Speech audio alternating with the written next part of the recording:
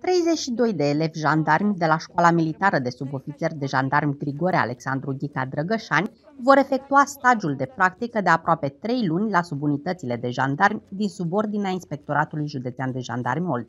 Această perioadă este binevenită în formarea lor profesională, oferindu-le ocazia de a transpune în practică noțiunile teoretice dobândite de la admitere și până în prezent. Punctul meu de vedere, stagiul de practică este util, deoarece avem ocazia de a ieși în stradă, de a relaționa cu cetățeanul, de a pune în practică ceea ce am învățat.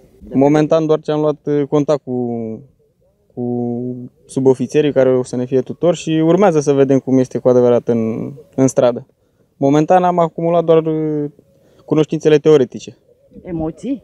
Nu, doar nerăbdător să pun în practică ceea ce am învățat. Până acum am stat aici la unitate, de în zilele următoare o să începem să luăm contact și cu, lum- cu uh, tutorii, cu tot restul colegilor.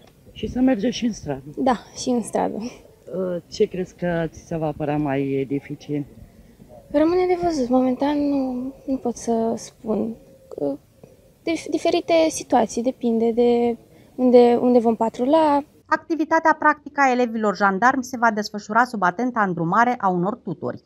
Mare parte din stagiul de pregătire va fi rezervat acțiunilor de menținere a ordinii și liniștii publice. Cea mai mare parte a perioadei stagiului de practică va fi uh, alături de subofițerii noștri cu experiență pentru acumularea cunoștințelor practice în domeniul ordinii și siguranței publice, iar în ultima perioadă, uh, un sfert din uh, această perioadă va fi dedicată pazei și protecției instituționale. Uh, Numai aici, la Slatina, vor fi elevii repartizați sau și la celelalte subunități din județ?